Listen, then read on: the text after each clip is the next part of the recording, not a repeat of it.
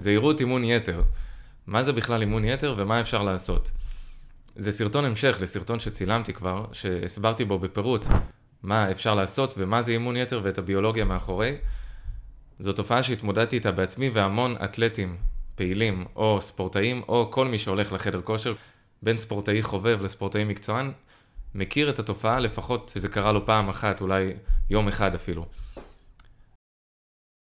זה שאתה מתאמן המון המון יותר מדי ממה שאתה צריך בשפה פשוטה, ואתה מגיע למצב שאומנם הכושר שלך משתפר מאוד, אבל מבחינת התחושות ומבחינת הריכוז וכל מה שאתה מרגיש במהלך היום, אתה מתחיל להידרדר.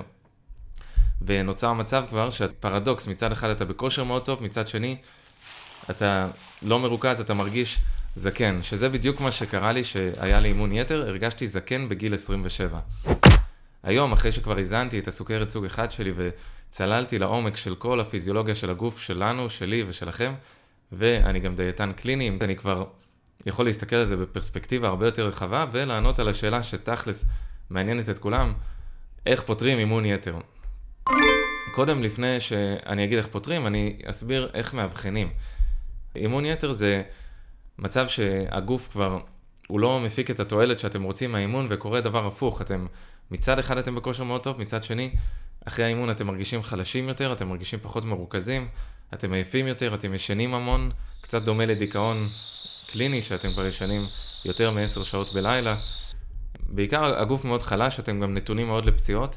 וזה מרגיש מאוד כמו תת פעילות בלוטת התריס, זה נושא שגם דיברתי עליו, עליו פה בעמוד, מי שמכיר את התופעה, אז זה מרגיש די דומה למשבר הורמונלי. אתם גם לא מרוכזים, אתם גם פחות יעילים ביום, יש ערפל מחשבתי, זה תסמין מאוד חזק, ואתם פשוט זקנים בגיל 27, בדיוק כמו שקרה לי, שאתם יכולים לראות בתמונה כאן, איך נראיתי בגיל 27.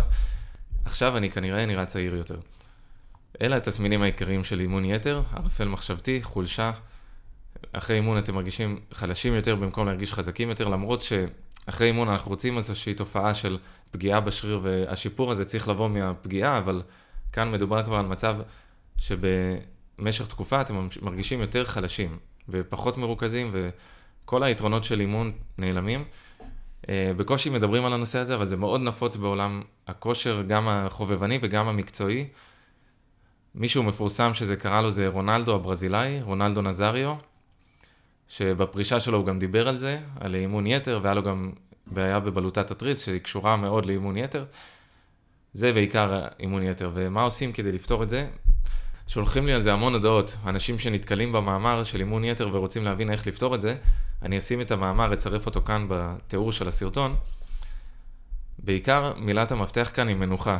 זה בכל הדרגות של אימון יתר, כי יש כמה דרגות. יש דרגה 1, 2, 3, דרגה 3 היא כבר דרגה קלינית, זה ממש פגיעה קלינית שאתם כבר לא יכולים להתאמן יותר. דרגה 2 זה אימון יתר די חזק, זה אתם כבר אה, חלשים מאוד בזמן האימון ואתם לא מרוכזים גם לאורך היום, זה גם בכל הדרגות וכל התסמינים, ובדרגה 1 אתם בעיקר אה, מרגישים שאתם נחלשים אחרי אימונים. זה פחות או יותר באימון יתר. ו... מילת המפתח היא, היא מנוחה, זה פשוט, אתם יכולים לרשום את זה על מחברת באותיות גדולות, מנוחה. זה בעיקר מה שצריך לעשות כדי לפתור אימון יתר. תלוי כמה זמן נמשך אימון היתר וכמה חזק התעללתם בגוף שלכם, וכמה לקחתם אותו לקצה, דחקתם אותו לקצה. אימון אינטנסיבי שהוא מגיע יום אחרי יום או כמה פעמים בשבוע בלי מספיק מנוחה, בלי להחזיר לגוף את הנוטריאנטים מהתזונה, ארוחות מלאות, ארוחות מלאות בחלבון איכותי, מהחי. כמו בשר לא מעובד, דגים ממקורות טובים, אם יש היום בימים, בימים המזוהמים שלנו, בים המזוהם שלנו. עוף אורגני, מוצרי חלב איכותיים, כל אלה יעזרו לכם כמה שיותר מהר להחלים.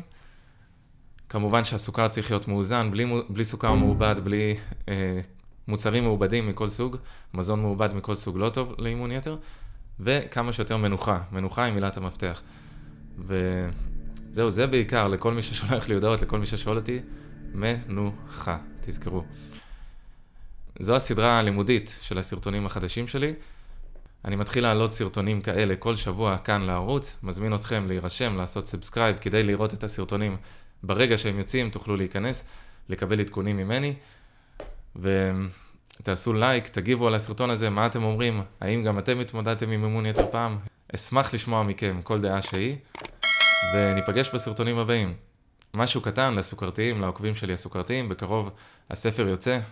אנחנו מדברים עליו הרבה, אבל בקרוב הוא יוצא, הוא כבר בשלבי עריכה אחרונים, המוציא לאור בתיקונים, אנחנו מעצבים את הכריכה, וסוף סוף המדריך לכל סוכרתי, מ-0 עד 100, איך להיות מאוזן, לפחות כמו בן אדם שאין לו סוכרת, אם לא יותר מאוזן. כמו שאני חי עם סוכרת סוג 1 כבר קרוב לעשור. ערכים של אנשים לא סוכרתיים. זהו, נתפגש בסרטונים הבאים.